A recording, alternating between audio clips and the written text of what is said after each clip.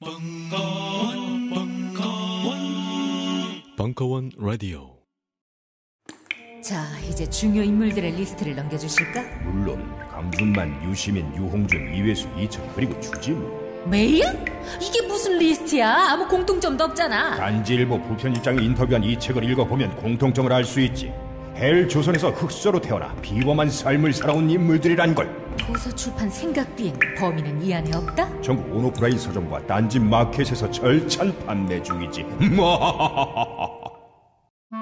강헌 선생이 명리학 강좌를 한다고 했을 때 무슨 생각이 들었냐면 인문학적 관점에서 이 명리학을 재해석을 해서 세상을 보는 하나의 관점을 뭐 툴을 프레임을 제시하려고 하는 거 아니겠는가라고 생각하였어요. 제가 받은 인상은 이겁니다. 이게 일종의 지도책이구나. 나를 찾아가는 내비게이션 강헌의 명리 운명을 읽다 식신이 뭡니까? 차 먹는 거. 아 명리학 쉽구나. 굉장히 좋아. 도서 출판 돌베개에서 나왔습니다. 군사부장 팬더의 워키피디아 아홉 번째 이야기 핵무기의 역사 2016년 3월 26일 강연 일부 네, 오랜만입니다. 거의 한 4개월 만에 다시 하는 것 같은데 이렇게 저렇게 하다 보니 좀 지금 시작하게 됐습니다. 아, 오늘 강연 주제는 핵무기입니다. 핵무기인데 하게 된 이유가 1월 달에 북한이 뭐 4차 핵실험하고 뭐 그런 것도 있었지만은 아, 얼마 전이었나? 한 한 달 됐을 거예요. 저 정말 친한 친구 녀석이랑 같이 술을 한 잔 마시게 됐는데 얘기를 하다 보니까 그 북한 핵무기에 대해서 저한테 물어보더라고요. 제가 한참 얘기를 하니까 그 녀석이 핸드폰을 꺼내더니 국정원에 신고하겠다 그러더라고요. 아니 싫어해요. 그러니까 왜 그러냐 그러니까 네가 서울 올라가더니 빨갱이가 다 돼서 돌아왔구나 그러면서 아 지금 제가 대전에 있거든요. 그러니까 고향 친구 놈이 딱 하니까 네가 진짜 빨갱이가 다 됐구나라면서 야 근데 내가 말한 게 사실이야 얘기를 해도 그러니까 주류 언론하고 또 사람들이 말하는 것들 그리고 냉전 체제에서 지금 한반도에서 한 60년 가까이 살다 보니까 그러니까 바라보는 시선이 고착화가 돼 있더라고요. 고정이 아니고 완전 고착이 돼 버렸어요. 근데 그걸 보면서 아 그 여기에 대한 이야기를 한번 제대로 한번 해봐야겠다라는 생각이 좀 들어가지고 이번 주제를 핵무기로 잡았습니다. 오늘은 강의 진행을 일부에서는 핵무기의 탄생하고 어떤 식으로 핵무기가 연쇄적으로 우리가 알고 있는 여덟 국가한테 퍼져 나갔는지 핵무기를 가지고 했던 나라들 그 역사를 보면은 북핵에 대한 시발점과 그 단초와 해결책에 대한 어느 정도의 사전 지시를 가질 수 있을 겁니다. 그리고 시간이 된다면 2부에서는 북한 핵이 왜 북한이 핵을 가지려고 하고 있고 그 사람들의 수준이 어느 정도이고 그게 한반도에 어떤 영향을 끼쳤는지 그 이야기를 한번 해보겠습니다. 오늘 이야기는 조금 무거울 수도 있겠지만은 최대한 쉽게 쉽게 한번 가보도록 하겠습니다. 아, 1935년 예, 마리 퀴리죠. 바람난 아줌마. 예, 바람 펴 가지고 어떻게 했던 사람인데 여하튼 방사선에서 뭐 어쩌고저쩌고 해 가지고 넘어가는 분이고 그 다음에 이분 이 사람 딸이에요. 작년대 어, 모전 자전이라고 엄마가 이렇게 되니까 딸도 굉장히 유명한 물리학자가 됐었어요. 이 사람이 개발했던 게 이 사람이 노벨상을 받으면서 했단 말이에요. 원자핵을 연구하는 사람들이 원자핵을 자유자재로 만들고 분열시킴으로써 폭발적 성격을 갖는 핵변환, 즉 영세 반응을 이야기할 수 있는 시기가 올 것이다. 핵폭탄을 미리 예견을 했어요. 핵폭탄을 예견을 했는데 그 다음에 이 예견이 맞아떨어져요. 오토안과 슈트라스만 핵분열 성공. 1938년. 시간을 딱 보세요. 1938년. 2차 세계대전 터지기 바로 1년 전이거든요.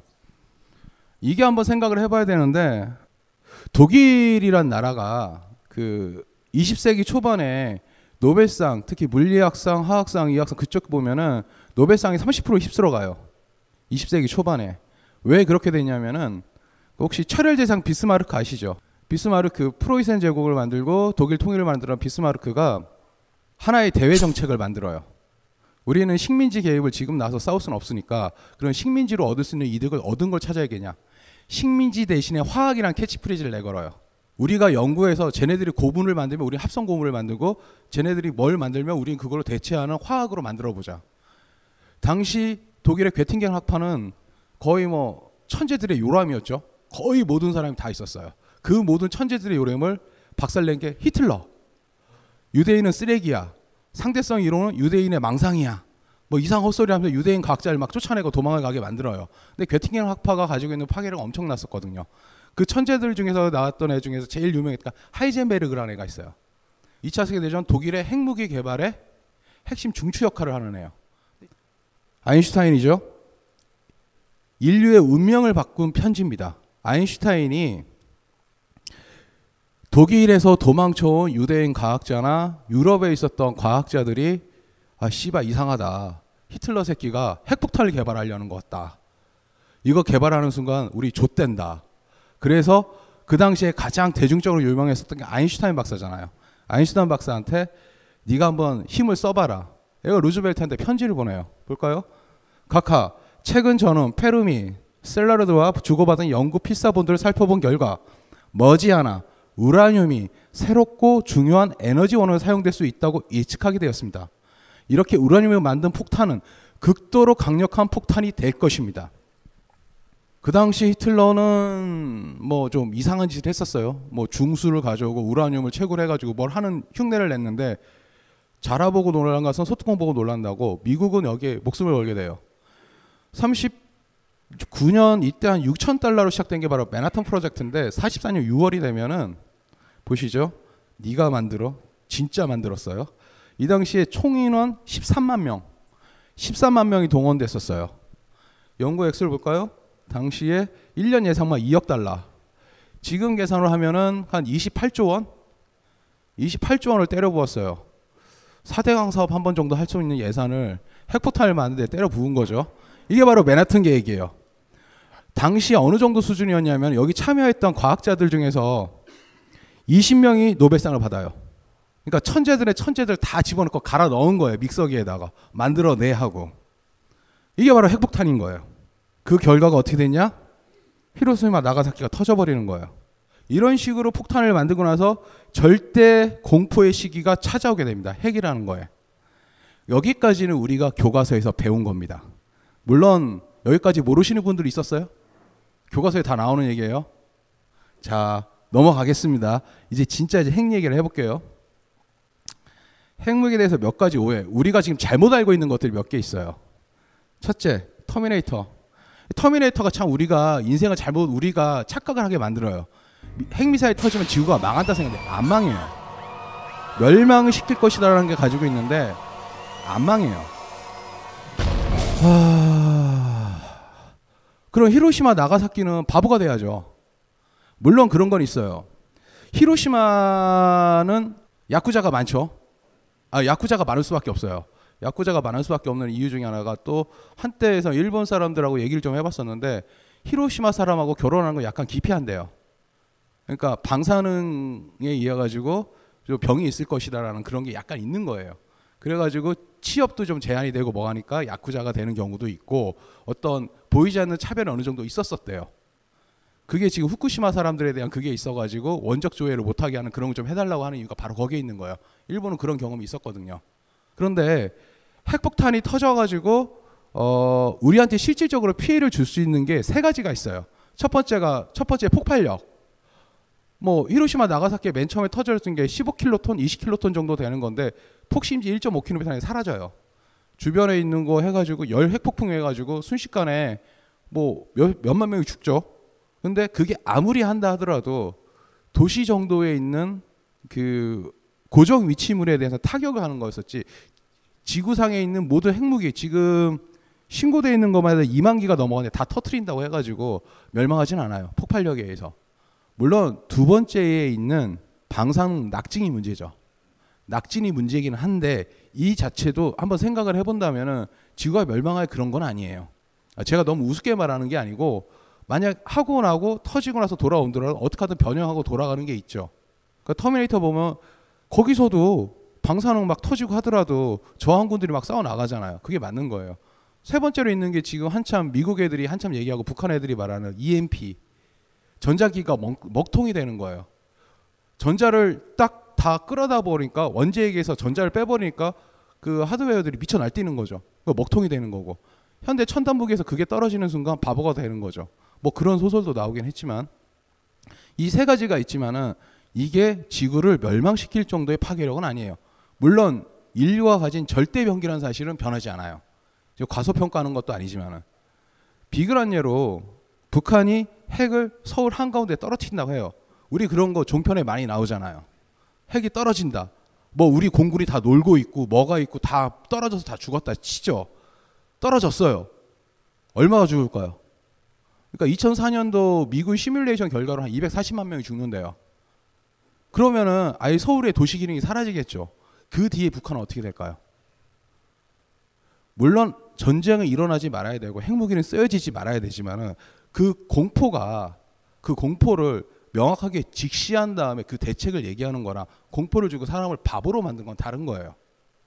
핵이라는 게 절대 병기라는 거 인정을 하지만은 그걸 직시하자는 거예요. 그리고 나서 대책을 얘기하자는 거예요. 일단 핵이라는 게 인류를 멸망시킬 만한 그건 아니라는 거. 그거 그 다음을 한번 얘기해 볼게요. 핵무기를 만들기 힘들다. 간단하게 말할게요. NPT라는 게 만들어졌잖아요. NPT가 68년도에 닉슨이 막 들고 나와서 얘기한 다음에 이걸 한번 해봅시다. 왜? 너도 나도 개나 소나 다 핵을 가지려고 하니까. NPT를 만들었을 때 최초의 걔네 보고서가 향후 20년 안에 25개국이 핵을 가질 것이다. 개발해낼 것이다. 그거 예상을 해요. 아주 쉬운 얘기를 할게요. 1980년대에 프린스턴 대학교에 어떤 빠가 같은 애가 A를 받아야 돼요. 아니면은 과락이기 때문에 유급이 될 것 같아. 대학생인데. 그래서 뭘 했냐니까 핵무기 설계도를 만들어서 제출해. 레포트로. 통과됐어. A를 받았어. 정말이에요. 간단히 말할게요. 핵무기는 1940년대 기술이에요. 지금도 핵무기 설계도의 99%는 다 공개돼 있어요. 만들면 돼요. 기술력의 문제지. 기술력이 있냐 없냐를 따지는 건데 우리 지금 현 지구상에 있는 나라에서 최소한 30개국어 만들 수 있는 힘이 있어요. 그러니까 NPT하고 IAEA에서 늘 하는 말이 핵무기를 통제할 수 있는 가장 확실하고 유일한 방법은 무엇이냐? 핵물질을 차단하는 것이다. 핵물질 유통을 그러니까 플루토늄이나 우라늄 같은 거를 그러니까 기술을 막을 수는 없어요. 기술은 이미 간단해서 핸드폰 만드는 것보다 더 쉬울 수도 있어요. 그런 상태로 아 핵무통보다는 더 어렵죠. 그렇게 받아들이지 마시고 핵폭탄 아, 핵무기가 낫지. 근데 그런 상황이기 때문에 핵무기는 정말 만들기 쉬워요. 다른 무기에 비해서. 그렇죠? 오히려 잠수함을 못 만드는 나라가 훨씬 더 많아요. 다음 핵무기가 전쟁을 막아줄 것이다. 이것도 개소리죠. 인도하고 파키스탄이에요. 카슈미르 분쟁인데 둘 다 핵을 가지고 있잖아요. 핵을 가지고 있음에도 걔들은 맨날 싸워요. 양쪽에서. 핵이 절멸의 공포를 줬던 냉전 시대는 모르겠지만 소규모에서 가지고 있다 한두 발 가지고 있는 애들 보면은 접점을 갈 수밖에 없어요. 그러니까 핵이 평화를 가져준다는 이상한 생각은 인도 파키스탄 앞에서는 별로 소용이 없는 거죠. 넘어갈까요? 그 다음에 핵무기는 비싸다. 이것도 진짜 순진한 착각이에요. 핵무기는 진짜 싸요. 정말 정말 싸요. 핵무기 얼마 정도 할 것 같아요? 한 발에 몇 천억. 몇 천억은 되게 싼 거예요. 왜냐하면 간단하게 한번 얘기해 볼까요? 이지스함 아 그래 F-15 아시죠? 우리나라 F-15K 한 대 있잖아요. 그게 1,200억 정도예요. 한 대에. 그렇죠? 그 국방부 추산에서 북한 핵무기 한 발당 가격을 제조 원가로 5,500억으로 보고 있어요. F-15 다섯 대 값이에요. 근데 그 핵무기 하나 때문에 우리는 아무 짓도 못 하고 있어요. 정말 싼 거죠. 핵무기는 정말 싸요. 가격 대비 효과 최고예요. 가성비 최고. 싼 거예요. 5,500억이면은. 우리야 뭐 일반 서민들이 보기에는 쳐다도 못달 돈이지만은 우리 돈 많잖아요. 강에다 때려볼 그렇게 돈도 많은데 핵무기 몇 발을 만들 수 있는데 그 돈이면 마찬가지예요. 핵무기는 뒤에 북한 얘기를 할 때 다시 설명했지만은 정말 정말 싼 무기예요. 그러니까 개나 소나 다 핵무기를 가지고 싶어해요. IAEA나 NPT에서 눈에 불을 켜고 핵무기를 못 가지려고 하는 거. 나만 가지고 있으려고. 아시겠죠? 굉장히 싼 겁니다. 이제 본격적으로 한번 이야기를 해볼게요. 이 핵에 대한 공포에 대해서. 우리는 생각했습니다. 실외는 가까운 곳에 있다고. 우리가 파는 것은 음료 몇 잔일지 모르지만 거기에 담겨 있는 것이 정직함이라면 세상은 보다 건강해질 것입니다. 그래서 아낌없이 담았습니다. 평산네이처 아로니아 친친친 지금 딴지마켓에서 구입하십시오. 이게 나왔죠. MAD 상호 확증 파괴라고 레이건이 아니었었구나. 하여튼가 그때 냉전 종식 선언을 했을 때 그때까지 인류를 지배했던 방위 구상이에요. 저쪽에서 핵을 이만큼 쏴요. 우리도 있는 대로 다 싸는 거야. 같이 죽자. 너 죽고 나 죽고. 그게 바로 매드 전략이야. 상호 확증 파괴. 네가 쐈어? 그럼 우리도 쏴. 같이 죽자라는 거예요. 이게 바로 냉전 체계 핵무기의 전략성이었던 거예요. 이게 무슨 의미일까요? 핵무기가 정치적 무기라는 의미예요. 무슨 의미냐? 핵은 쏘는 순간 그 가치가 실종되는 거예요. 쏘면 끝나는 거니까. 핵은 쏘는 순간 가치가 없어요. 핵은 쥐고 있어야 가치가 있는 무기예요. 무기 체계를 분류할 때 전술 무기하고 전략 무기가 있어요. 전술 무기는 싸워야죠. 탱크, 장갑차, 비행기 날아가면서 미사일 쏘고 그러면서 이게 직접 타격을 줘야지만 그게 효과가 있는 거죠. 핵은 전략 무기예요. 가지고 있는 것 자체만도 상대방이 움직이지 못하는 무기예요. 이 차이인 거죠. 핵무기란 게 등장하고 나서 실전에 사용된 건 딱 두 번이에요. 히로시마하고 나가사키. 그 사이에 핵 실험을 한 게 몇 번인 줄 아세요? 그러니까 2090 몇 번인가 했을 거예요. 2070 몇 번. 핵을 못 쏴요. 왜? 쏘는 순간 이거는 정치적 무기 때문에 내가 쏘면 저쪽도 쏜단 말이에요. 그러니까 지금 미국 애들이 지금 생각하는 게 미니 뉴크라고 벙커버스터에다 조그마한 핵무기 해가지고 1킬로톤, 1킬로톤 이하짜리 조그마한 핵을 쏴가지고 그냥 떨어뜨린다는 거예요. 밑에다가 지하에서 뻥뻥 터지게. 미국 애들이 원래 법적으로 5킬로톤 이하짜리 핵무기를 개발하지 못하게 법으로 막아놨었는데 이제 뭐 테러와의 전쟁하고 뭐하고 북한이 막 깝죽대니까 그 제한을 풀고 소형 핵무기를 개발하려고 그런 거예요. 전략 무기 한 번 쏘는 순간 너 죽고 나 죽고가 되는 상황이지만은 조그만하게 재래식전에서 쏠 수 있는 핵무기를 개발하자는 거예요. 그런 식인 거죠. 핵은 쏘는 순간 끝나는 거예요. 전략적으로 모든 국가 차원에서 그래서 못 쏘는 거예요. 북한이 아무리 지랄 난리를 치더라도 핵실험만 계속하고 있잖아요. 이게 무슨 의미일까요? 한번 생각을 해보셔야 돼요. 물론 이건 뒤에 가서 얘기를 하는 거고 어쨌든 이런 정치적 무기가 냉전 시기에 어떻게 구동됐는지 그 얘기를 한번 해볼게요. 전략무기 삼각체제.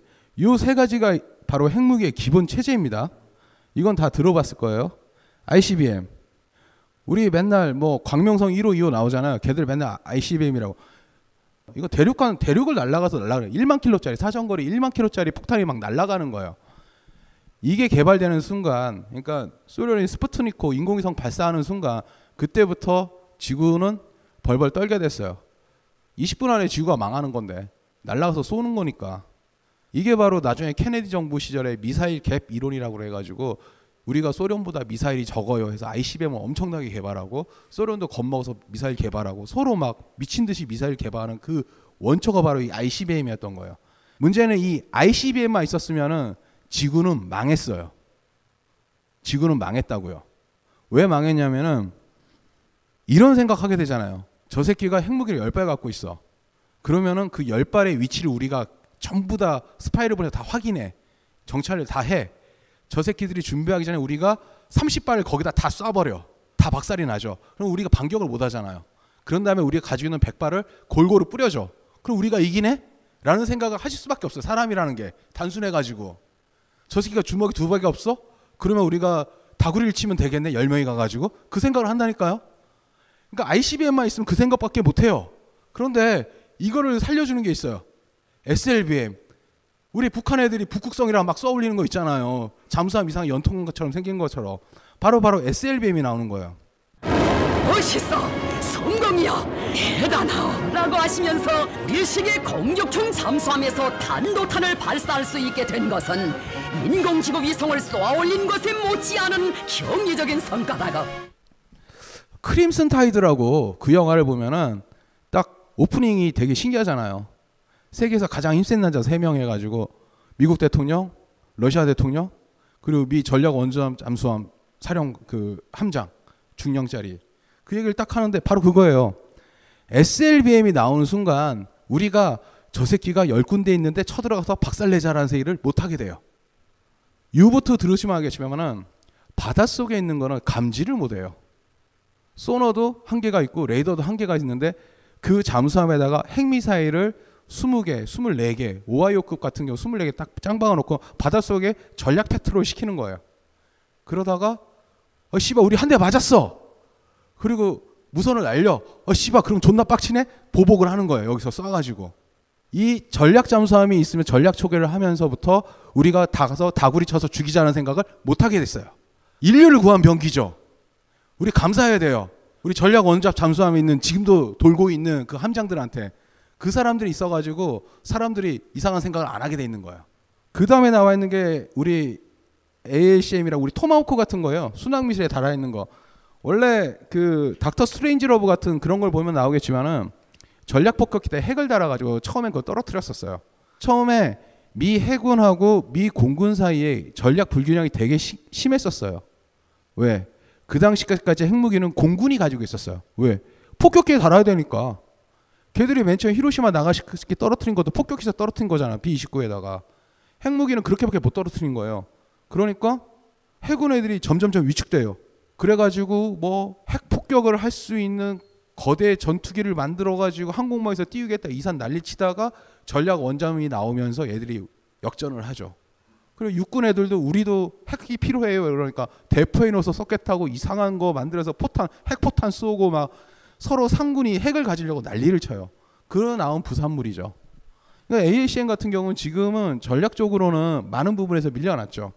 이 세 가지가 있었기 때문에 지금까지 지켜왔던 거예요. 이게 바로 냉전 시대의 핵무기의 기본 추측입니다. 핵 전력에.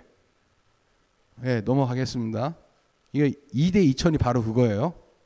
2000번 핵실로 했는데 이때는 그 유튜브 검색을 해보면 정말 재밌는 게 많이 있어요.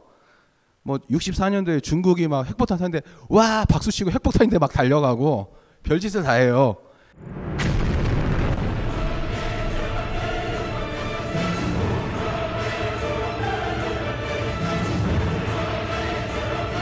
그때 atomic soldier라고 한 25만 명이 방사능 막 걸리고 막 난리치고 죽고 막 난리 쳐요.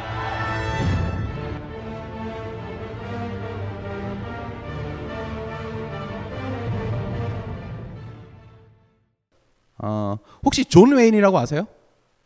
영화 배우 서부 영화에서 막 총 쏘고 난리 나는 존 웨인.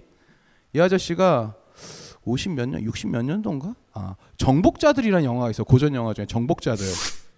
그게 완전히 그 공포 영화예요. 아, 그 영화 자체는 그 존 웨인이 징기스칸으로 분장해요. 서양 놈이. 그리고 수잔 헤이워드라고 젊은 애가 있는데 타타르 공주가 있는데 뭐 칼싸움하고 별짓을 해요. 아프리카 인디언 아니 인디언들 데려놓고 막 쓰고 하는 거였는데 이거 이후로 거기 출연자들이 거의 대부분 다 죽어요. 걔들이 유타주에 있는 스노우 캐니언이라는 데서 거기서 촬영을 했었거든요. 사막이니까 중국까지 로켓은 못 가니까 거기서 중국이라 치고 거기서 로켓을 띄었는데 그 옆에 200km 네바다에 있었어요. 그러니까 45년서 45년서부터 63년까지 미국 애들이 한 200번 넘게 뻥뻥뻥 핵을 터트려요. 대기 중에. 지금처럼 개념이 있어죠. 땅에 파묻고 그런 게 없었어요. 방사능에는 개념이 없었던 시절이에요. 빵빵빵 터트렸는데 바람을 타고 낙진이 다 쌓인 데 거기에요. 그걸 찍고 나자 일단은 감독이 얼마 뒤에 죽어요. 암으로. 그리고 수잔 헤이워드라고 아주 예쁜 여자가 있었는데 유방암, 피부암, 자궁암에 걸려서 마지막에 뇌종양으로 죽어요. 존 웨인이 장암으로 죽어요. 스탭이 220명인데 절반이 암으로 죽어요. 그리고 촬영했던 엑스트라 인디언들 불쌍한 아저씨들 한 3분의 2가 또 죽어요. 암으로. 그렇게 다 죽었었어요. 아무 개념이 없었죠. 2000번을 뻥뻥뻥 터트리는데 그 당시에는 방사능 낙징에 대한 생각이 전혀 없었던 시절이었던 거예요. 그러다가 어 왜 이러지? 헐리우드 배우들이 상당수가 암으로 죽었어요. 70년대에 유명했던 애들이. 그러니까 주로 서부에서 찍었던 애들 이상하게 죽는 거예요. 암으로. 방사능 낙징에 대한 공포가 그때까지 쉬쉬하다가 그렇게 나왔던 거예요. 그러니까 야 50년대만 하더라도 너 같은 애들 놓으라고 원자력 장난감이랑 세트가 팔렸었어 레고처럼. 그리고 너 같은 애들은 라디움을 줘. 그러니까 막 돌려. 아 진짜로 농담이 아니고 그 당시에는 당신도 오펜하이머가 됐습니다. 당신의 아들이 아인슈타인 오펜하이머가 될 수 있습니다. 원자력 장난감. 그리고 아토믹 토이라고 막 줘가지고 가지게 놀게 했어요 애들한테. 개념이 없었죠 그 당시에는. 이런 짓을 했었어요. 그때 두 번이지만은 2천 번. 이게 바로 정치적 무기라는 걸 한번 꼭 상기해 두세요. 뒷부분에 다시 나옵니다. 자 비키니 완초 나오죠. 이때도 뭐 장난 아니었었어요. 다들 죽고 바보 되고 그리고 우린 살아남았다. 이게 중요합니다. 우리가 살아남았다. 이 사람이 누군지 아세요? 그 EBS에서 영화가 나왔었는데 그 어, 다운받아 보시고 EBS 홈페이지 가면. 스타슬로키 페트로프라는 사람인데 미 방공군 사람이에요. 방공군에서 있었던 얘가 그때 중령이었나 그랬었는데 갑자기 82년인가 83년인가 한참 미소간에 굉장히 첨예한 시절에 미국에서 핵미사일 쐈다는 거예요. 삐삐삐삐 계속 울리는 거예요. 얘가 최고 결정권자야. 쏠까 말까를. 근데 조금 지나니까 또 쐈대. 또 쐈대. 한 네 방 다섯 방이 날라오는 거예요. 이놈이 딱 봤는데 하필이면 그때 서기장이라는 애가 아파가지고 골골 싸고 있었고 얘가 번호를 눌러야 되는 거야 버튼을. 그런 상황인 거예요. 이놈이 딱 봤는데 얘가 냉정하게 판단해요. 고장 났다 인공위성이. 그래서 보고를 해요. 아니다 잘못된 거다.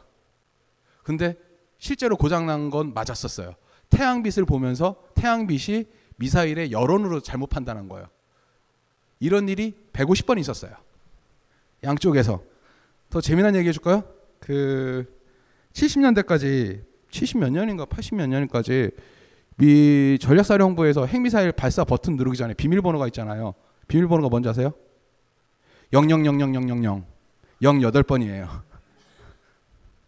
그래서 000000 누르면 미사일 날아가는 거예요. 야, 0000은 좀 너무하지 않냐? 교체해라 그러니까. 근데 걔들은 간단한 게 야, 까먹으면 못 살 수도 있잖아요. 야, 그때 7호였냐? 8호였냐? 네 생일이었냐? 그러면 안 되잖아요. 그러니까 00000으로 해 놓는 거예요. 그거 왜 달아? 그런 상황이었었어요. 그러니까 노라드라고 북미 방공사령부에서 보면은 소련에서 미사일이 날랐다고 몇 번이나 경고가 날라왔어요. 그때마다 고민을 하고 난리가 났었고 심지어는 어떤 애 같은 경우는 핵발사 카드를 꽂아놓은 상태로 근무한 사람도 있었었고 그러니까 우리는 그런 사람들 있는 데서 살아왔던 거예요 지금까지 지구가 안 망한 게 신기하죠 알파고 때문에 지구가 망한다. 그런 거 생각할 필요 없다니까요. 우리 그런 시대를 살아왔어요 우리는. 막장인 세상이죠. 이런 시절이었어요. 이 아저씨 때문에 이 아저씨가 나중에 그 다큐멘터리 영화 나와가지고 이 아저씨의 영웅담이 나와가지고 상도 받고 많이 하셨어요. 근데 이런 경우가 한두 번이 아니었던 거예요. 이쪽은 뭐 소련만 그런 거, 미국도 그러고 서로 막 나중에는 아 쏘나 보다. 고장 났겠지. 그런 식으로 넘어가는 거였었어요. 우리가 그런 시대에 우리는 살아났던 거예요. 자 볼까요? 핵을 완전히 가진 나라. 이 얘기를 좀 이제부터 본격적인 이야기를 시작해 볼 건데요. 아, 미, 중, 러, 프, 영. 이 다섯 나라, 그 P5라고 그러죠. 안전보장이사의 다섯 명. 핵을 가진 나라 다섯 나라가 안전보장이사의 유엔에 가지고 있는 가장 힘 있는 나라예요. 이 다섯 나라의 핵 이야기를 먼저 시작해 보겠습니다. 일단 미국이죠. 아시죠? American 푸, Prometheus, 오펜하이머. 핵을 터트리고 나서 그 유명한 말을 남겼잖아요. 나는 살인자요, 세상의 파괴자다. 존나 멋있는 말을 남겼어요. 그리고 핵을 반대하다가 쫓겨나죠. 핵을 만들었어요. 핵을 만든 것까지는 좋아요. 그 다음이 문제야. 모든 사람 똑같은가 봐요. 핵을 만들고 나서 이건 나만 가져야 돼. 이건 나만의 아이템이야. 나만 이템을 갖춰야 돼. 그리고 맹마음법이란 걸 만들어요. 맹마음법. 이게 뭐냐니까 핵무기의 물질, 정보 이런 것들을 다른 나라에 전파할 수 없게 하는 법이에요. 당시에 이 법의 핵심이었던 게 뭐냐니까 소련이 무서웠다는 거예요. 소련한테 이 정보, 이 도깨비 방망이를 소련 애들이 가져가면 우리도 좆된다. 그래서 그거 가렸지만 이 법이 나오기 전에 45년대에 이미 소련 애들은 핵무기 설계도를 빼돌렸어요. 그리고 나서 법이 만들어진 거죠. 병신. 그런 거예요.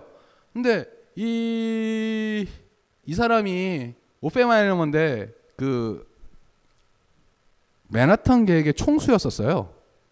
아, 기모 좀 말고. 그러니까 맨하탄 계획을 만들 수 있는 최고의 과학자이자 경영자였었어요. 이 사람 말고 아인슈타인, 이 사람, 뭐 살레도르, 뭐 페르미, 뭐 하여튼간 총 그러니까 초호화 군단이에요 물리학자. 그런데 핵무기가 터진 걸 보고 나서 이 사람들이 모두 다 핵을 반대해요.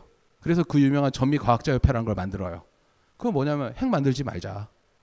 반대하니까 하필이면 그 다음에 뭐가 일어났죠? 50년대 메카시 우리가 잘 아는 메카시 모든 사람을 빨갱이로 두들겨 패는 그 메카시 아저씨들이 전부 다 이 새끼들은 빨갱이야 빨갱이야를 외치는 거죠. 이 사람 같은 경우에는 나중에 수소폭탄 개발을 반대하다가 다 쫓겨나요. 핵을 써보고 나서 아인슈타인도 그랬잖아요. 3차 대전은 어떻게 일어나는지 모르겠지만은 4차 대전의 무기는 우리가 뭘 쓴지를 알고 있다. 4차 대전의 무기는 뭐? 돌멩이하고 나무 방망이. 안녕하세요. 용산에서 가장 믿음 가는 조립 PC 전문 업체 컴스테이션의 이경식입니다. 당장이라도 사용하고 있는 컴퓨터를 들어다 던지고 싶을 때 그럴 때를 대비해 저희 컴스테이션이 용산 선인상가 21동 1층 130호에서 기다리고 있습니다. IT 강국에 걸맞게 믿을 만한 조립 PC 컴스테이션이 신뢰를 바탕으로 그 기회를 제공해 드리겠습니다. 궁금하신 점은 문의 주십시오. 011-892-5568번입니다. 우주 최강의 만족스러운 서비스를 제공해 드리는 저희 컴스테이션이 늘 기다리고 있겠습니다. 딴지스에게 F1 같은 존재, 컴스테이션은 조용한 형제들과 함께합니다. 그런데 여기 나와 있죠. 맥마음법 요거 있잖아요. 소련에 못 나가게 만들었었던 거를. 근데 소련이 이미 가지고 있었거든요. 핵무기 설계도를. 소련도 되게 무서운 나라였었어요. 왜? 42년도에 미독영 학자들이 전부 다 핵분열 논문을 쓰지 않는다는 걸 확인하게 돼요. 첩보들 NKVD가 인민내무부에서 요거 이상하다. 이 새끼들 뭔가 있다. 파악을 한 거죠. 스파이를 총동원해요. 42년부터 핵 개발. 그러니까 뭐 스탈린그라드에서 막 뺑이 치고 죽는 그 와중에 이 새끼들은 핵을 생각하고 있었던 거예요. 그러다가 45년도에 원자폭탄 설계도를 빼내요. 이게 도움이 됐는지 안 된지는 몰라요. 그렇지만 이렇게 가면 안 된다는 거 알아요. 여기 뭐 코롤료프하고 쿠르차토프가 있죠. 코롤료프는 이 새끼가 굉장히 유명한 놈이죠. 스푸트니크를 만들고 그러니까 소련의 미사일의 그 최고 영웅이에요. 베르너 폰 브라운에 필적하는 놈이죠. 코롤료프와 그는 쌍두마차고 쿠르차토프는 이 새끼는 소련의 오펜하이머라는 놈이에요. 이 사람이 핵무기의 핵심이었던 거야. 이 사람이 어떻게 핵무기를 개발했냐면은 소련 스파이가 미국에서 핵무기의 단편적인 정보를 갖고 와요. 그러면 이걸 잘 갖고 와. 그런 다음에 내가 꿈꾸다가 무슨 아이디어가 떠올랐어. 이게 어떻게 됐는지 니들이 한번 해석을 해봐. 하고 애들 밑에 애들한테 뿌리는 거예요. 그런 식으로 스무 고개식으로 다 쪼짓기를 해가지고 핵무기를 만들어요. 49년도에 터트리죠. 근데 이게 터트릴 수밖에 없었어요. 왜? 사람이라는 게 정말 간사한 게 핵무기를 처음 가지게 돼요. 미국이. 그걸 뭘 하는 줄 아세요? 사람을 협박하기 시작했었어요. 협박을. 그러니까 45년, 46년도에 2차 대전 끝나자마자 정신이 없을 때 소련 새끼들이 이란으로 치고 내려와요. 이란으로. 이란을 먹겠다는 거죠. 이란에 왜? 기름 나오니까 먹고 떨어져야지. 그 당시엔 시베리아 원전 개발이 없었어요. 기름 먹어야 되니까 소련은. 그때 우리의 미국 대통령이 정말 멋있는 말을 했죠. 48시간에 철수 안 하면 핵폭탄 떨어뜨린다. 소련한테 협박을 한 거죠. 소련이 깨갱하고 철수를 해요. 소련 애들이 얼마나 빡적했을까요? 저 새끼는 총이 있는데 나는 몽둥이밖에 없어. 그럼 나도 총이 있어야지. 안 그러겠어요? 핵은 그렇게 시작되는 거예요. 협박을 하기 시작했던 거예요, 미국이. 그런데 그 핵 협박의 시기가 4년도 못 갔죠. 4년 만에 소련이 가지게 된 거예요. 이거 우리 앞으로 지금부터 얘기 잘 드려야 되는 게 뭐냐면 핵이 정치적인 무기고 그 정치적 무기가 어떤 식으로 활용했는지 잘 생각해 보세요. 그럼 북한이 왜 저렇게 핵을 가지고 싶어 했는지도 알게 되거든요. 자, 여기까지 소련도 얘네들을 다 갈아와 가지고 핵폭탄을 만들었죠. 그 다음에 독자적으로 핵을 가진 나라가 누구냐? 영국. 배신감이 만든 무기. 원래 전쟁에서 핵무기를 최초로 개발하려 했던 나라는 영국이었었어요. 미국이 아니고. 미국이 오토안과 슈트라스만 핵분열 성공을 1938년에 접하자마자 핵무기 이거 된다. 파악을 한 거야.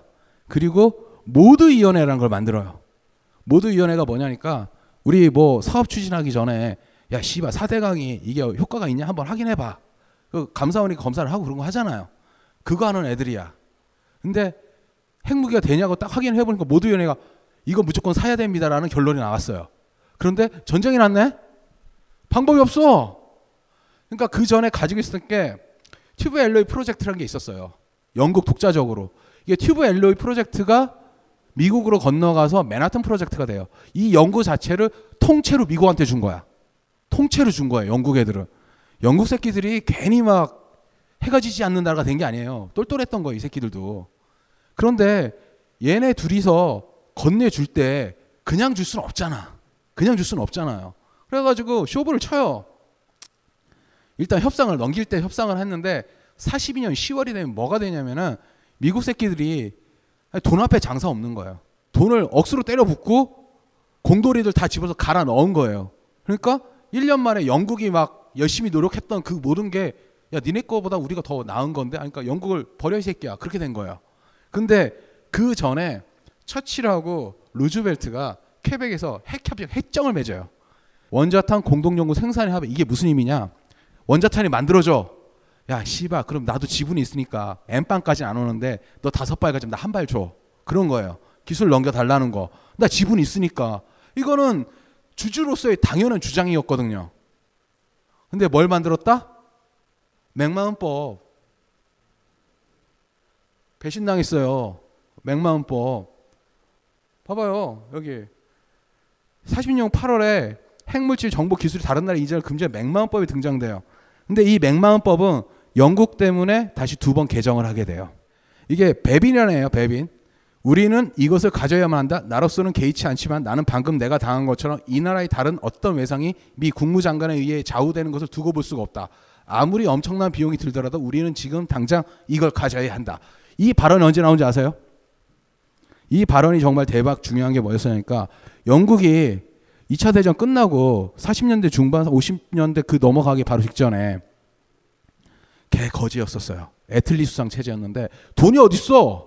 5년간 6년 가까이 뺑이치게 싸웠는데 돈이 어딨어? 전후 복구하기도 힘든데 그래가지고 내각에서 우라늄 농축 시설을 만들까 말까를 이렇게 한참을 회의를 할 때였는데 모든 사람이 야 돈 없어 배째 하지 마라고 하는데 외무상이 달려와서 이, 이 소리를 하는 거예요.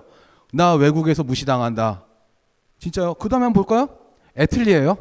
당시 수상. 우리는 미국인들과 협력을 할 수 없었다. 그 어리석은 맥마음법은 우리가 그들과 협력하는 것을 완전히 막아버렸다. 그리고 그들은 자기들은 어른이고 우리는 어린아이로 생각하는 경향이 있었다. 따라서 우리는 그들에게 그들이 최고가 아니라는 것을 보여줘야만 한다. 정신승리죠? 지들이 최고라고. 미친놈들. 정신승리예요. 당시 애틀리 수상이었는데 영국은 진짜 배신감이 치를 떨었어요. 아까 그 프로젝트 맨하튼 프로젝트에 영국 애들이 들어갔다는 거 아시, 말했잖아요. 영국 거 가져와서 만들었으니까 당시에 영국 핵과학자 40명이 들어가 있어요. 유명한 윌리엄 페니 같은 애가 있었죠. 걔는 나중에 영국에 핵폭탄 만들었다고 기사자기 받았어요. 핵무기 만드니까 여왕이 너한테 너 기사해 한 거예요. 핵기사죠. 그 놈이 딱 됐는데 얘들을 데려온 거예요. 영국은 얘네들이 딱 가지고 있었던 게 뭐냐면 영국 모두위원회에서 이때가 언제였었냐니까 핵무기라는 존재가 나오기도 전에 영국은 이미 전략적 가치를 판단한 거예요. 원자탈이 대개별되기 전에 전쟁이 끝나더라도 그와 같은 결정적인 가능성을 가진 무기를 보유하지 않는다면 어떤 국가도 위험에 처할 것을 우려하지 않을 수 없을 것이기 때문에 원자탄 개발 노력은 헛된 일이 될 것이다. 얘네들이 이걸 만들어내고 났을 때 그 다음에 정말 대박이었었던 게 뭐였었냐니까 어, 얘네들도 소련이 당한 것 같이 똑같은 꼴을 당해요. 무슨 얘기냐? 협박을 당해. 미국이 소련을 협박했잖아요. 소련이 영국이 협박해요. 협박하니까 빡치니까 핵을 만들죠. 왜? 그 수에즈 운하가 원래 영국 거였잖아요. 영국이 팠으니까 프랑스랑 같이. 근데 2차 대전 끝나고 민족주의 되면서 이집트가 튀고 나서 그걸 먹어요. 그러니까 영국 프랑스가 양아치 하여튼 양아치긴 양아치긴 해. 이스라엘 꼬셔가지고 전쟁 일으켜. 씨바 수에즈 다시 우리 거야. 쳐들어가니까 소련이 치고 나오네. 소련이 한 마디 찍 던져요. 야, 핵 맞을래? 철수를 해요. 병신된 거죠. 그리고 치를 떨어요. 우리도 핵이 있어야겠다. 핵은 진짜 연쇄적이에요. 딱 보면 나오겠지만 진짜 연쇄적이에요. 협박 한번 받으면 핵 개발해. 우리도 아마 협박을 받았기 때문에 핵을 개발할 수도 있을 것 같아. 아, 정말이에요. 협박을 받은 나라 핵을 개발하게 돼 있더라고요. 이상하게. 영국도 협박을 받고 핵을 개발해요. 근데 진짜 생각해 봐야 할 건 뭐냐면은 이 모두위원회라는 거하고 그 다음에 생각해 볼 게 뭐였었냐니까 얘네들이 핵에 대해 가지고 있는 그 가치에 대해 임의 부여가 있었던 거예요. 그 보고서가 굉장히 많은데 핵을 개발 때그 얘기를 하는 거예요. 영국이 이류 강대국으로 남아 있고 해가 지지 않는 나라의 위험이 사라졌지만 핵을 가지고 있는 순간 우리의 현재 위치는 지켜낼 것이다. 핵이 가지고 있는 파괴력을 이미 가지고 있었던 거죠. 근데 영국은 그러면 걔들 공돌이 굉장히 많이 갈아 넣었어요. 갈아 넣어서 핵무기 개발하죠. 자, 그 다음에 개발한 나라가 자존심으로 만들어놓은 네 번째 핵이에요. 프랑스 새끼들. 이 바게트 새끼도 되게 이상해요. 계속 해볼게요. 왜 바게트라서 이상해요? 이 새끼들이 그 전 세계 핵 전파의 1등 공신이에요. 이 바게트 새끼들이 바게트만 먹지 막 핵 막 여기저기 막 팔거든요. 얘네들은. 아, 진짜 농담 아니고 남아프리카 공화국 이스라엘 이 새끼 다 핵 팔았거예요. 얘네들이. 그러니까 바게트 얘기 해볼게요. 우리에게도 핵을 줄 거란 순진한 착각. 얘 두골이잖아요. 생각해 보세요. 영국 애들은 지분이 있잖아. 프랑스 애들은 우리도 지분이 있어. 아니 전쟁 동안 도망만 다닌 주제에 도망 다녔잖아요. 얘네들 결국 두골이 나와가지고 이상한 애들 좀만에 구스러기 데리고 레지스탕스 데려와가지고 싸웠다 그러는데 별거 없었잖아요. 그래놓고는 지들 배신감 느꼈대. 지들한테 안 줬다고. 물론 물론 프랑스 핵 물리학자 몇 명이서 들어갔어요. 맨하튼 계획에. 왜냐하면 그 수많은 과학자를 다 밀어 넣어야 되니까. 근데 얘네들은 쓸모가 없으니까 시다발이만 시킨 거야. 영국 애들은 이렇게 쪼이기라도 하고 용접도 하고 프로그램 계산도 했지만은 얘네들은 쓸고 닦고만 한 거야. 근데 우리도 참여를 했대. 그리고 핵을 달라고 요구해 미국한테. 그러니까 미국 애들이 조카이 병신아 그런 거예요. 아니 아무리 안 그러겠어요? 한 푼 넣지도 않고 뭐 한 것도 없는데. 근데 45년 10월부터 프랑스는 핵 개발하겠대요. 미친 거지. 아무것도 없는데. 근데 괜히 스스로 화를 내. 자존심. 나도 핵 개발을 했는데 한 게 없어요. 맨하튼 계획에서 걔들은 쓸고 닦고만 한 거예요. 근데 자기네는 굉장히 큰 공로를 내렸대요. 근데 아니었었어요. 괜히 막 자존심만 세가지고. 그러니까 이렇게 설레발을 치니까 미국, 영국, 캐나다가 프랑스를 막아서야 되니까 우라늄 통제를 하게 돼요. 그러니까 우라늄이 있어야지만 핵무기를 개발하든가 말든가 할 거 아니에요. 그 통제 협정을 맺고 하니까 얘가 괜히 또 빡치는 거야. 나만 못 가지게 한다고. 그리고 수에즈 운하 사태가 터졌죠. 그때 영국하고 프랑스가 이게 그때 협박받은 편지예요. 불가니 라디오 성명. 모든 유형의 근대적 파괴 병기를 보유한다. 더 강력한 나라로부터 공격받게 될 경우 영국의 입장은 무엇인가? 협박이죠. 정중한 협박이죠. 스웨즈에서 꺼지라고 영국 프랑스가 우리는 침략자를 분쇄하고 동방에서 평화를 재수립하기 위해 무력을 사용할 결의를 굳혔다. 영국은 빡쳤지만 괜찮아요. 얘는 조금 이뒤에 핵을 만들어내니까. 근데 문제는 같이 협박을 받은 프랑스는 핵이 없었어. 그래서 나도 만들 거야 한 거예요. 기술과 돈이 없었어요. 그러니까 여기서 서독을 끌어들여요. 서독이 당시에 58년도에 아마 전범부에서 탈출해가지고 군대를 만들었을 거예요. 근데 57년도인가 그런데 프랑스가 당시에 사공화국 시절이었었어요. 프랑스 애들이 핵은 갖고 싶은데 돈이 없어. 근데 옆에 보니까 독일이 있는데 이 새끼들은 돈은 있는데 나치라고 병신 취급받아. 그래서 옆에 가가지고 쏙싹쏙싹해. 야 20억 불만 땡겨주면 내가 핵을 만들게. 그럼 어떻게 할 건데? 반 넣어줄게. 콜! 이렇게 된 거예요. 그러니까 서독 애들이 어떻게 했냐니까 유럽 미사일 연구회라는 이상한 단체에다가 연구비를 지원한다는 명목으로 비자금 20억을 땡겨. 아, 씨발 그런 거 한국에서 배워야 되는데. 한국 봐봐요. 건물 올리면 되지. 교회에다 기증하면 되든가. 방법을 모르는 거야. 20억을 땡겨놨어요. 서독 애들은 꿈에 부풀었어. 아, 씨발 나도 이제 가진다. 그런데 웬걸?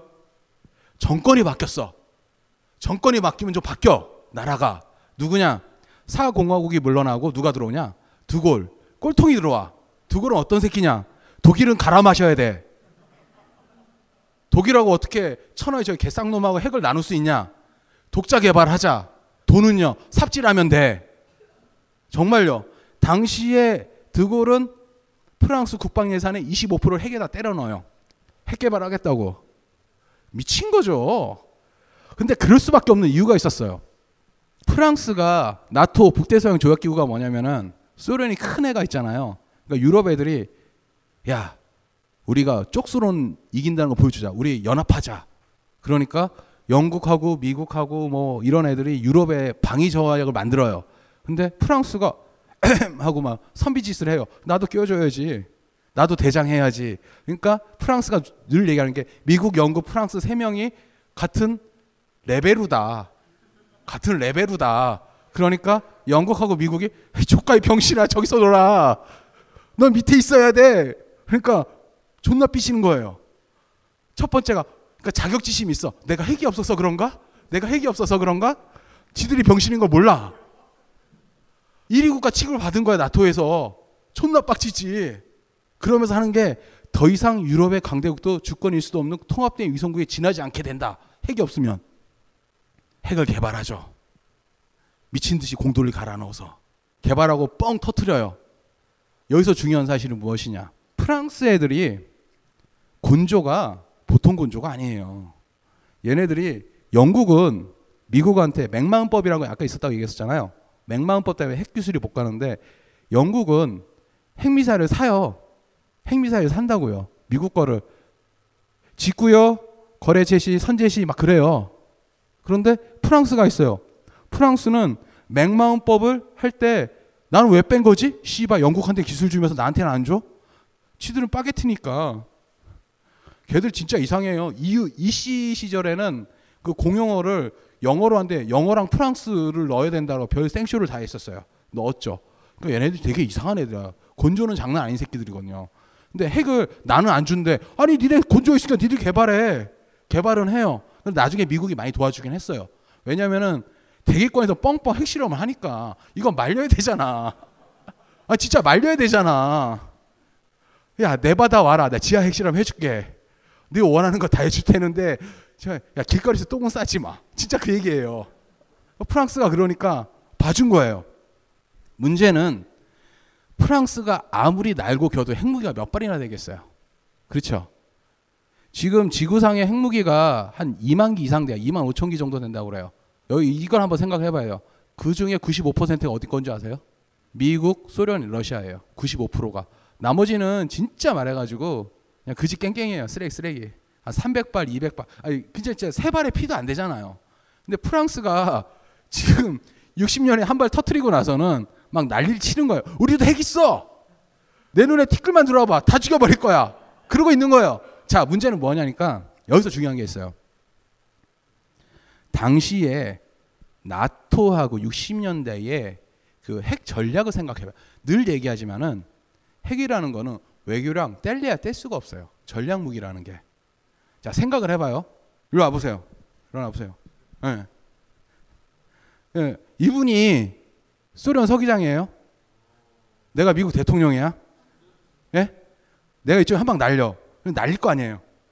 같이 죽잖아요. 그거 싫으시죠? 그리고 핵을 쏘더라도 얘네 둘이만 싸우게 하면 그건 좋겠죠. 난 안 죽으니까. 그걸 하실래요? 같이 죽는 거 할래요? 이쪽 죽는 게 낫죠. 앉으세요. 이런 생각이 모든 사람이 다 똑같아요.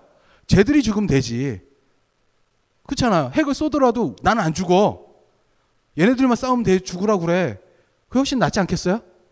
그러니까 60년대에 핵무기가 막 넘쳐나 흐르나 적과 끓이 흐르듯이 핵무기가 넘쳐나는 그 시절에 가장 첨예한 전선이 서유럽 전선이었었어요.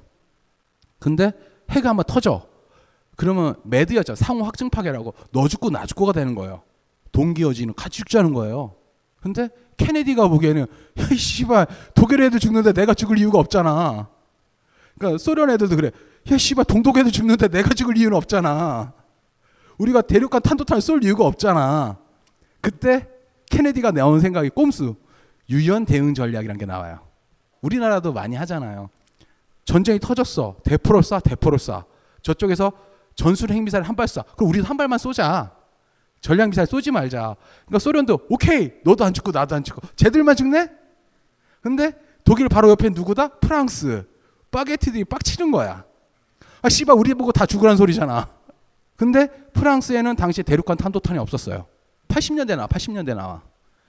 이 당시에는 뭐 핵도 간신히 개발했는데 대륙간 탄도탄을 언제나 만들어. 얘네들이 생각한 게 비례 억지 전략. 야 이거 진짜 멋있어요.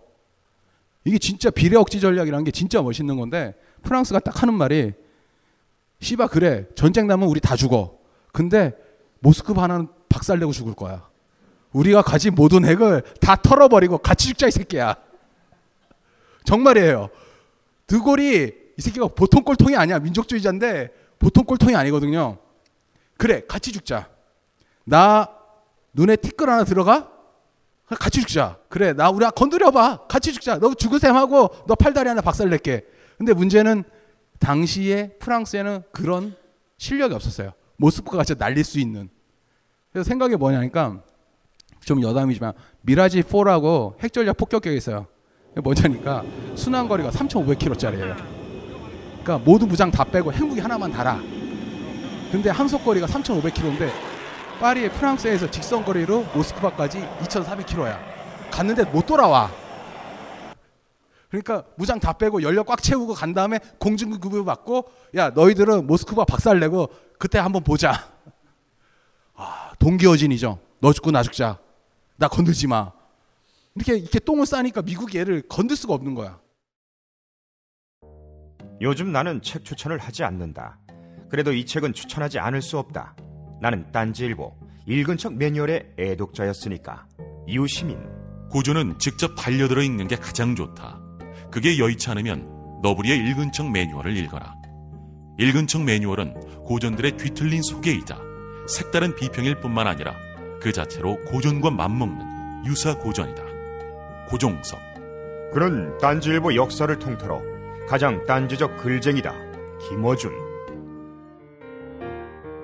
고전이 얼마나 재밌는가를 은하계에서 가장 재밌게 설명하는 책.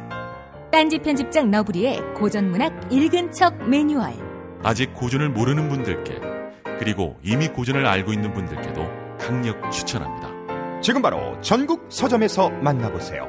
딴지 마켓에서 구입하는 분께는 저자 사인본을 배송해 드립니다. 이제 갑질 만연 유통시장에 똥침을 날릴 때 딴지일보가 만든 신개념 마켓 딴지마켓. 판매자와 소비자 모두가 갑이 되는 상호 갑질주의 원가를 후리지 않되 낮출대로 낮춰낸 합리적 가격. 딴지일보 기자들이 직접 취재하며 검증한 믿을 수 있는 상품들. 명랑 소비문화 창달에 이바지하리라 딴지마켓. 마켓.딴지.com으로 접속하세요. 그러니까 프랑스가 그 이걸 이걸 한번 생각하셔 보는 게 60년 2월인데 이걸 보여준 이유가 뭐냐니까 한 나라가 현대 국가에서 핵을 가지겠다가 작정을 하면은 누구도 못 말려요. 프랑스가 이걸 했을 때 외교적인 압박, 경제적인 압박이 엄청났어요. 장난 아닌데도 핵을 개발하고 몇 발 안 되는데 씨발 건드려봐 같이 죽자 이거야. 어디 생각나지 않아요? 우리 비슷한 날 보고 있죠. 그런 거예요. 개발하겠다 작정하면 못 말려 현대 국가에서는 전쟁이 낮은 이상은. 그리고 만들어 놔들어 핵무기가 되든 말든 괜찮아 다 죽어도 좋아 한 방 쏠게. 바로 바로 비례 억지 전략. 이게 프랑스가 이 짓을 했던 거예요. 저 프랑스 비하 발언을 너무 많이 했나요? 아니 뭐 괜찮아요. 저도 프랑스 가서 인종차별 많이 당해가지고 아, 진짜로 인종차별 많이 받았어요. 중국인인 줄 알고. 아 진짠데? 넘어갈게요. 그 다음에 중국이에요. 아 중국은 메카시한테 너무 감사해야 돼요. 메카시즘 덕분에 핵을 개발했어요. 그 메카시 상원위원회에 대해서는 중국은 감사해야 될 거예요. 그러니까 이 빨갱이 열풍이 한 나라의 운명을 완전 뒤바뀐 나라를 보라고 그러면은 미국이 아니고 저는 중국으로 보고 있어요. 설명해 드릴게요. 누구죠? 마오쩌둥이죠. 멋진 아저씨죠. 막 씨발 저 새는 해로운 새다 그래가지고 중국을 막 병신 만든 나라. 핵무기는 종이 호랑이고 전혀 두렵지 않다. 사억이 죽어도 우리는 결국 승리할 것이다. 멋지죠? 농담이 아니라니까? 인구가 당시 8억이었는데 그래 쏴봐 씨발 4억 죽고 나 간다. 보세요. 그 다음에 중국 인민은 결코 미국의 핵 협박에 굴하지 않아요. 우리나라 6억 명의 인구와 960만 평의 영토를 갖고 있습니다. 결코 중국 점일 수 없어요. 원자 폭탄이 아무리 강력해도 중국에 떨어지면 지구에 구멍 하나를 만드는 것이거나 약간의 타격을 입힐 뿐이에요. 쭉쭉쭉쭉쭉 수수와 초총으로 무장한 중국은 승리자가 될 것입니다. 전 세계 인민들 우리를 지지할 것입니다. 이게 무슨 의미냐니까 싫어요. 핀란드 대사한테 한 말이에요, 얘가. 얘가 어느 정도였었냐니까 그 50년대가 중국한테는 최악의 시기였었어요. 양안 사태라고 그 금문도라고 앞에 있어요. 맨날 포격전 날라가고 미국이하고 세이버 전투기가 공중전을 하던 때였어요. 중화민국하고 앞에서 그때 정말 웃겼었어요. 미국이 날라오는데 세이버에는 저기 미국이 미사일을 달아줬거든요. 오다 막 미사일 맞고 다 떨어지는 거야. 그 해안선에는 대만하고 미군 함대가 있었었고 위에는 소련이 있었잖아요. 소련하고는 싸웠어. 사이가 틀어졌어. 독자 노선 가야 돼. 옆에는 인도가 치고 올라와. 인도하고도 전쟁했거든요. 그러니까 사방이 포위된 거예요, 중국이. 이런 사태에서 핵이 떨어진다니까 까짓거 한 4억 죽고 나머지 가봅시다라는 말이 나오는 거예요. 중국은 핵이 정말 필요할 시기였었어요. 근데 중국은 무엇이다? 수수와 소총으로 무장하고 있었잖아요. 핵을 어떻게 해볼 수가 없어. 그런데 아주 훌륭한 일이 터져요. 무슨 일이 터지냐? 예를 얻어요. 천세선. 존나 유명한 사람이죠. 그 공돌이들이 이 사람 얘기를 많이 써요, 일화를. 공돌이들이 그 연봉영업상 할 때거나 프로젝트 따올 때 이 사람 많이 팔고 있거든요. 설명해 드릴게요. 미국 역사상 가장 어처구니 없는 짓거리다. 그는 나보다도 공산주의자랑 고리가 먼 사람이었는데 우리 손으로 쫓아내다니. 국방부 해군청 차장 댄 A 킴볼 대장. 아 메카시라는 아저씨가 있어요. 아저씨가 지금 보면은 낙천자 후보에 올라갈 정도 개쓰레기였었어요. 꼴통 새끼가 있는데 007 가방에다가 이 가방 안에는 국무부 직원 빨갱이 2,500명의 명단이 있어. 이상 헛소리를 해요. 그 가방을 절대 안 열어. 그이 사람이 말하면 다 빨갱이가 돼. 빨갱이가 됐는데 이 새끼들이 본 거 중에서 딱 보니까 천세선이라는 애가 가장 마음에 들어. 왜? 이 새끼가 나라를 유학을 건너올 때는 아 씨발 저거 분명히 중화민국이었는데 돌아와 보니까 어라? 중공이 돼 있어. 나라가 엎어진 거예요. 이 사람이 유학을 했는데 초천재였었어요. 동네에서 우리나라로 치면 뭐 수능을 봤는데 전국 3위 월반 해가지고 중국에서 너무 똑똑하니까 보내버린 거야. 미국으로. 처음에 간 데가 어디냐? 칼텍. 뭐 미드 잘 보시면 빅뱅 이론 많이 보셨죠? 그 미친놈들. 걔들이 칼텍에 있어요. 칼텍. 칼텍에서 만든 굉장히 유명한 것들이 있어요. 그 있는데 한 이상해. MIT랑 지네들끼리 라이벌리를 하는데 칼텍에 있다가 MIT로 가요. MIT에서 뭐 했냐? 2차 대전 동안 미사일 만들었어요. 미사일 만든 놈이었었어요. 해군에서 존나 똑똑했었죠. 똑똑했는데 메카시가 오니까 이 새끼를 남산으로 보내네? 이 새끼 빨갱이야. 일단 남산으로 보내면 다 빨갱이가 돼 있어. 원래. 원래 빨갱이라고 하면은 빨갱이가 될 수밖에 없어요. 우리 우리 잘하잖아요 그런 거. 우리가 그 원조일 수도 있는데 아니 원조는 쟤들이구나 메카시구나. 얘가 빨갱이라고 선언을 해. 이 초천재를 잡아놓고 빨갱이다 아니다 빨갱이다 아니다 별짓을 다 하고 5년간 감금을 시켜요. 가택연금 시키고 도청하는가 얘가 빨갱이가 아닌데도 빨갱이가 될 수밖에 없어. 빡쳐가지고 이 초천재가 미쳐버리는 거지. 당시에 이놈이 있었었는데 이놈이 이 천세선이라는 애가 미국에 대해서 그 칼텍에 있었던 연구원들이 얘를 정말 보호하려고 별짓을 다 했어요. 이 똑똑한 새끼를 왜 이렇게 하냐. 근데 얘를 편드는 순간 나도 빨갱이네? 그 우리나라 많이 겪었잖아요. 가족 무슨 빨갱이 무슨 빨갱이 점점 그런 나라로 가고 있어요 지금. 아, 이 얘기를 왜 하지? 나도 잡혀갈 텐데. 여하튼 그런 빨갱이가 되니까 이 새끼가 아 일을 가는 거야. 근데 얼씨구나 6.25가 터지네. 6.25가 터지고 나니까 포로 협상 있잖아요. 미국 애들이 야 씨발 협상 걸자. 야 우리 가지고 있는 빨갱이하고 우리 미군 포로 바꾸자 그러니까 아싸 중국이 나이스를 하는 거야. 그리고 얘를 달라 그런 거지 콕치 명해가지고 얘가 얘를 달라 그런 거예요. 그러니까 존나 웃기는 게 FBI에서 얘는 출국 금지 명장이야. 그리고 미국 이민국에서 이 새는 출국용이야. 추방하라 애야. 얘, 얘가 신분이 되게 이상한 애예요. 근데 미국에서 미 해군에서는 결사 반대로 얘를 데려가지 말라고 얘기한 거야. 가는 순간 좆된다. 근데 얘 갔어. 가자마자 가자마자 가자마자 모택동 주은래가 공항에 영접을 와. 와 박사님 최고 최고. 그리고 나서 얘가 막 얘가 그 전까지만 해도 zergling rush밖에 모르잖아요. 가서 죽고 나머지 남은 걸 쳐면 된다 그러는데 우리도 nuclear weapon이 가능하냐 물어봐요. nuclear weapon이 가능하냐 물어보니까 이때 공돌이들이 두고두고 써먹는 거예요. 이 아저씨 한마디가 공돌이들이 프로젝트 따올 때 진짜 많이 써먹어요. 나한테 15년을 달라. 진짜 15년을 달라. 그러니까 15년을 왜 필요하냐? 5년은 기초과학 인재들을 다듬는다. 공교육을 정리해서 5년은 그 인재들 가지고 응용과학을 만든다.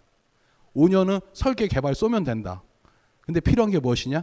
무한대의 지원이다. 미네랄 존나 필요하다는 소리죠. 얘기를 하는 거야. 모택동이 그럼 저글링러스 안 해도 되네? 콜 때린 거예요. 어떻게 된지요? 15년 만에 인공위성을 날려요. 동방우는. 그 씨발 수수하고 소총으로 싸우던 애들이 인공위성을 날려. 진짜로 15년 만에. 그러니까 애들이 미치는 거야. 어, 씨발 그러면 너 다른 것도 만들 수 있어? 이 사람 미사일하고 항공역학자지 핵을 개발을 못했었어요. 핵 물리학자가 아니잖아요. 근데 아까 말했었죠. 핵무기는 만들기 되게 쉽다는 거. 그 다음에 중요한 거는 이런 거는 국가 단위 프로젝트를 해본 경험이 굉장히 중요하거든요. 이 사람 미국에서 국가 단위 프로젝트를 해봤잖아요. 2차 대전 때. 그걸 가지고 지가 잘하는 공돌이 갈아 넣기를 하는 거야. 갈아 넣었어. 핵무기가 나오네? 64년도에. 그리고 몇 년 지나니까 수소폭탄이 나와요. 양탄 일성이 바로 그거예요. 핵 폭탄, 핵폭탄 만들죠. 수소폭탄 만들죠. 그 다음에 미사일을 만든 거예요. 인공위성을 만든 거. 우리 지금 중국 애들이 우주 발사하고 그리고 항공, 항공모함 격추용 탄도 미사일 만들잖아요. 50년에 메카시가 안 그랬으면 그거 못했어요. 메카시가 만들어준 거예요. 이 새끼가 진짜 빨갱이지 메카시가. 맞잖아요. 얘가 안 갔으면 이렇게 안 됐죠.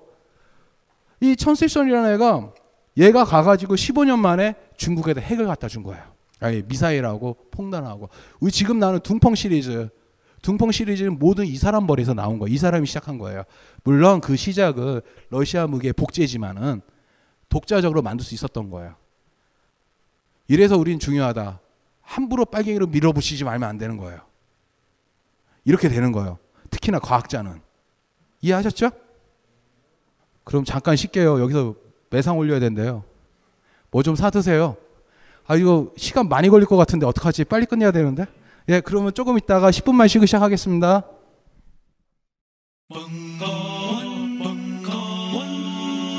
벙커원 라디오